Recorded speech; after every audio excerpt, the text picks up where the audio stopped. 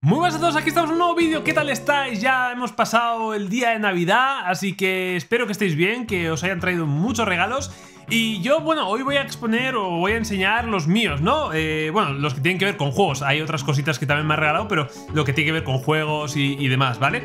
Eh, bueno, voy a empezar por el principio, nunca mejor dicho, ¿vale? Y voy a coger un jueguito que, lo compré yo, me, hice un autorregalo que estaba a 10 euritos. Me jodió mucho, me jodió mucho este juego porque en verano este juego estaba en Amazon a, 10 euros y al final eh, subió a 20 y, y, no había manera de que bajase. Como iba diciendo, justo, justo, justo ha llegado un paquete y he tenido que cortar. Eh, que eso, que, estaba a 10 euros, eh, subió a 20, no había manera, estuve siguiendo a ver si bajaba a 10 otra vez y al final me lo compró de segunda mano. Nada, tiene un arañico ahí pequeño arriba, pero bueno, no, pasa nada, no es, mínimo, así que bueno, y el juego funciona, así que eso es lo importante, ¿vale? Eh, pues es el Damer 1998, ¿vale? Como veis aquí, ahí tiene, no sé si podéis apreciar aquí, veis un poquito ahí, bueno, bueno, es mínimo, o sea, una tontería. Pero bueno, me jode porque estaba nuevo hace unos meses y, estuve siguiendo la pista y bueno, al final me lo pillé de segunda mano y ya está. Nada, este juego lo tenía yo en Epic, me parece que regalaron. Empecé a jugarlo, me gustó el comienzo y como, como soy así, o sea, esto ya es porque soy así, ¿vale? Eh, cuando compro algo en físico y me lo paso, ¿vale? En físico, es como que lo disfruto más. Sé que es absurdo, o sea, es absurdo. Y además también quería sacar el platino, ¿vale? Seguramente sea uno de los platinos siguientes que, saque cuando tenga tiempo, porque llevo eh, unas cuantas semanas con él. y, esto, y no, no, hay manera de... No, no, encuentro tiempo para jugar, ¿vale? Eh, pero bueno, ya digo, estoy enseñando esto, no he comprado para el día 24-25, pero bueno, un regalo, todo regalo de navidades, ¿vale?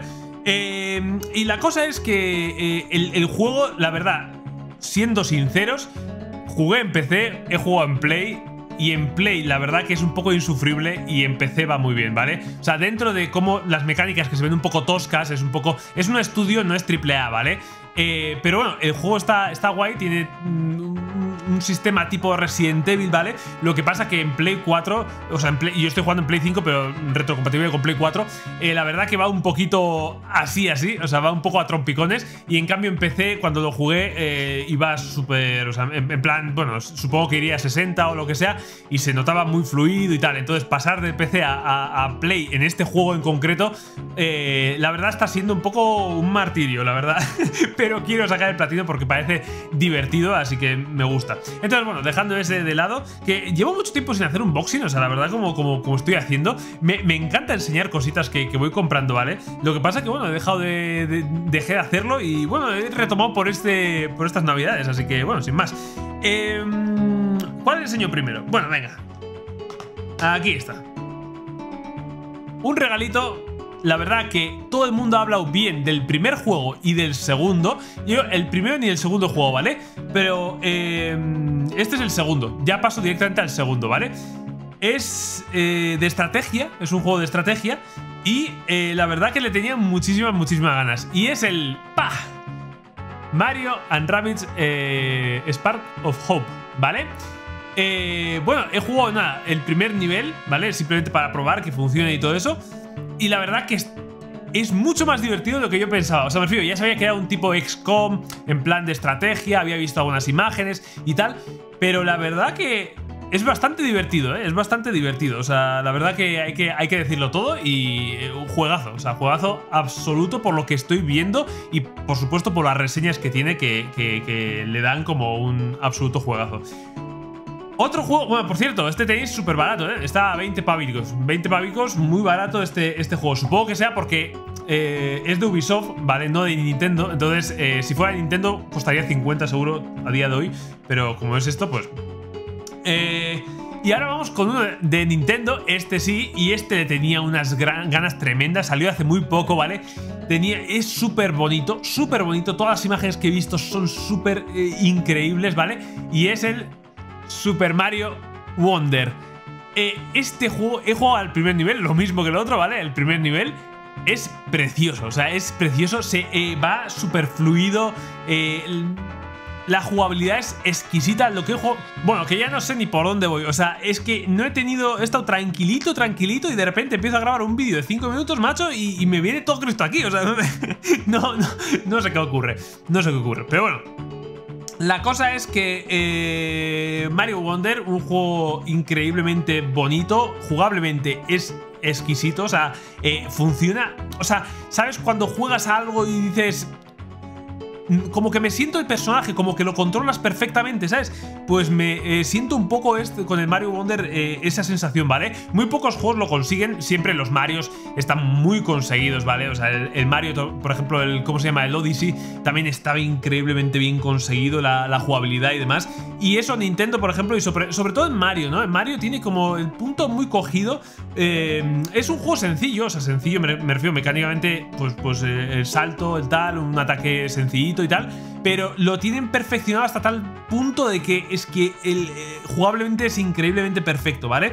Eh, nada, eh, seguiré cuando tenga un poquito de tiempo con este también, ¿vale? Muchísimas, muchísimas ganas con este.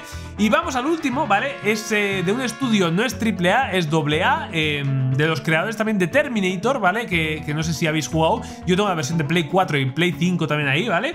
que también la de Play 4 fue un, regalo. El, de Play 5 me lo compré yo, pero el de Play 4 también fue un regalo. Y del mismo estudio que además a mí aunque por supuesto tiene muchas limitaciones el Terminator, pero si eres fan, se nota un cariño en el juego, o sea, se nota ahí como un... Eh, que, que, que, le, o, bien han cuidado muy bien el juego o bien son fans del juego, ¿no? del juego, no, perdón, de la película, ¿no? Y aquí ocurre un poco lo mismo. Jugué a la demo, jugué una misión, bueno, la demo eran tres misiones, pero cuando jugué a la primera dije, ya está, lo dejo aquí. He vuelto a jugar a esa primera misión simplemente para ver que funcione el juego, ¿vale? Y la verdad que es que las sensaciones son inmejorables. O sea, el juego es muy sencillo, por ahora por lo menos no creo que tenga mucho más el juego, es, es, vete por ahí, investiga un poco y dispara, o sea, básicamente. Pero el sentirte como Robocop, sentirte como Robocop y andar como él, disparar, la mira típica que tiene de Robocop, o sea, eh, increíble, ¿vale? O sea, ya veis aquí la versión de Play 5, ¿ok? Ahí está. Eh, la verdad, increíble eh, la sensación. Ya sé que es un juego sencillito, ¿vale? O sea, es un juego, no, os esperéis ahí como, eh, no sé qué, como el Terminator. El Terminator a mí me encantó, de hecho me lo he pasado 3-4 veces me parece. Tengo el platino de, ambos, del, Play 4 y del Play 5 también. y es que me encanta porque soy muy fan y aunque tiene sus limitaciones, por supuesto, porque es un doble A, eh, pero es que está hecho con un cariño eh, que, es que la verdad eh, no puedo, no puedo. Lo único que hubiera pedido de más es que estuviese doblado al español. O sea, la verdad, sería lo, único que hubiera pedido. Porque por lo demás, por ahora me va perfecto. He visto, he visto gente que tiene muchos bugs en Play 5, no lo sé. Yo, por lo menos, el primer nivel que he jugado. Me ha ido perfecto, rendimiento perfecto, ni un bug, todo correcto, así que mm, no lo sé, ya se ya se verá con el tiempo, ¿vale? Pero bueno, eh, supongo que acabaré primero con este Robocop, que yo creo que es el más sencillito de todos. Eh, y no sé si luego... Igual, o voy con el Wonder o con el Nightmare. Quiero acabar este. Lo que pasa que estoy todavía al principio.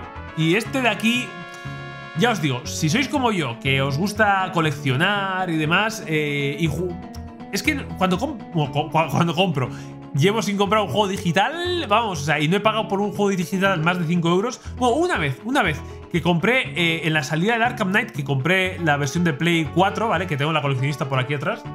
Ahí, ahí, ¿vale? Tengo ahí la coleccionista.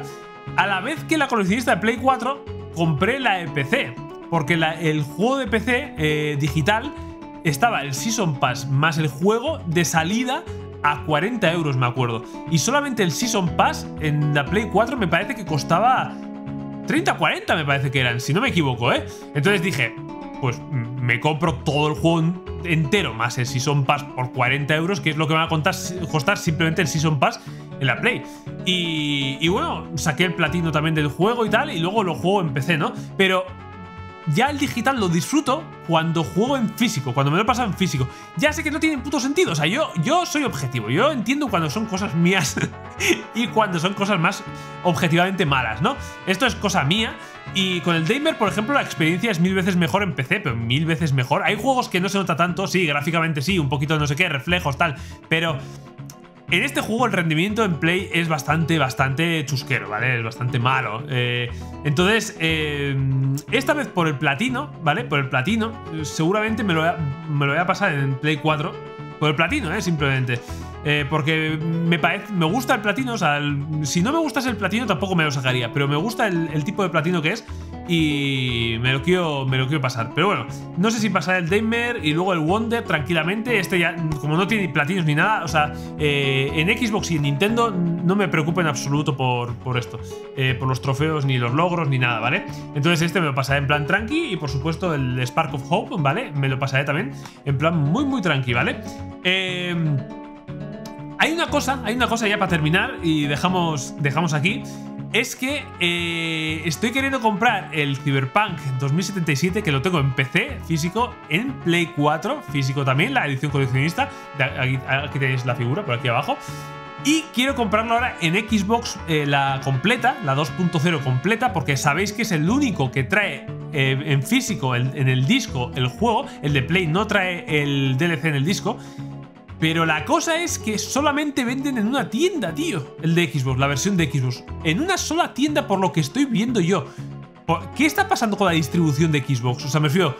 Eh, hay algo muy extraño con la distribución de los juegos de Xbox. O sea, eh, no, no, a veces no encuentro, ¿no? O sea, es como que repartan cuatro unidades únicamente para que la gente sepa que venden en, físico, pero son cuatro unidades, ¿no? O sea, simplemente así como y todo lo demás es digital, ¿no? ¿no? sé, la sensación que me da, ¿eh? Tú vas a buscar un juego de Play 5 y los encuentras por todos lados. Pero estoy buscando específicamente el de Xbox de, Cyberpunk, la versión completa.